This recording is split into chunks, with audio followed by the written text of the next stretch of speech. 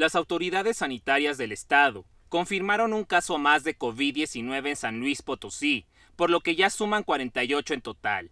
42 en la capital potosina, 2 en Soledad de Graciano Sánchez, 2 en Matehuala, 1 en Ciudad Fernández y uno más en Aquismón.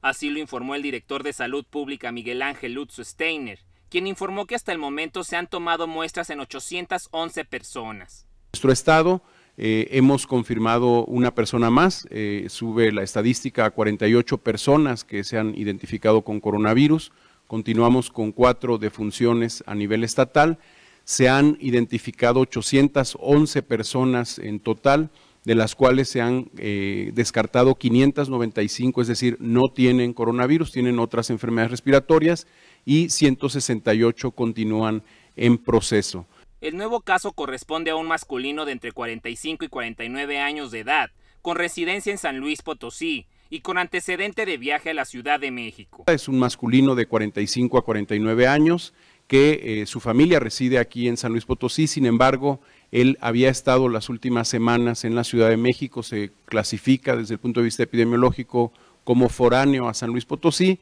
sin embargo, bueno, sabemos que existe la posibilidad de eh, la transmisión local. El funcionario agregó que 1.297 conacionales han sido informados y sometidos a un aislamiento voluntario, 198 en el altiplano potosino, 94 en la zona centro, 820 en la zona media y 185 en la Huasteca. Por otra parte, dio a conocer las condiciones que el Comité Estatal de Seguridad en Salud establece para otorgar una alta sanitaria de los pacientes confirmados por COVID-19.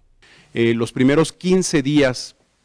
siguientes o posteriores al término de los síntomas respiratorios, esta persona durante esos 15 días deberá mantenerse en un aislamiento estricto con todas las medidas higiénico-sanitarias, todo lo que implica la separación de trastes, el, distanciamiento de su familia a más de dos metros en una habitación de preferencia, en una habitación aislada. Después de estos 15 días, deberá mantenerse otra vez 15 días, quiero ser muy preciso, esto nos lleva a un mes, a un mes, 30 días después de terminados los, los eh, síntomas respiratorios, 15 días más con distanciamiento social. Desde luego estamos viviendo en una jornada nacional de sana distancia, tendrá que someterse también, no hay una, no hay una libre circulación para las personas confirmadas, deberá seguir usando cubrebocas y deberá tener mucho cuidado con las medidas higiénico-sanitarias. ¿Por qué? ¿Por qué se ha tomado esta determinación?